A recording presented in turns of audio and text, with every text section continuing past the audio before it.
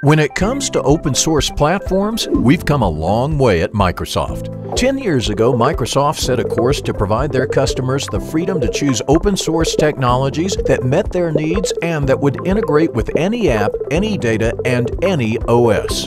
The future at Microsoft is about openness and interoperability in everything we do, and we need your help to get us there. Microsoft has done significant work with Linux OS leaders to deliver a flexible, open cloud and to embrace the open source momentum.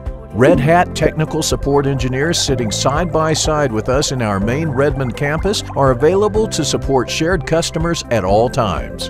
True synergies are melding the open source technologies the developer community is producing with Microsoft enterprise class software like Office, OneNote, and OneDrive, making them readily available on iOS and Android.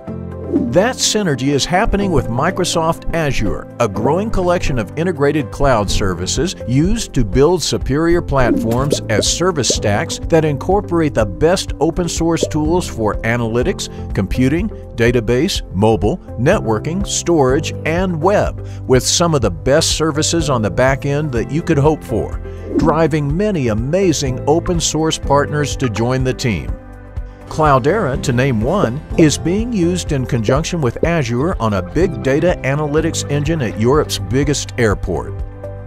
Microsoft is committed to making Azure our market-leading public cloud operating system, the most open and friendly environment for third-party and community software.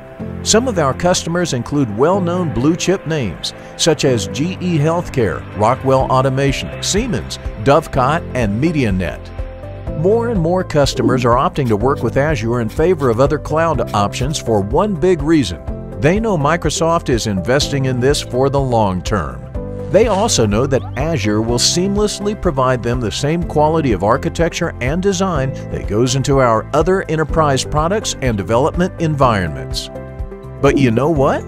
We've not only come a long way at Microsoft when it comes to open source, we also have a long way to go. There is unlimited opportunity ahead of us, and we need your help to get us there.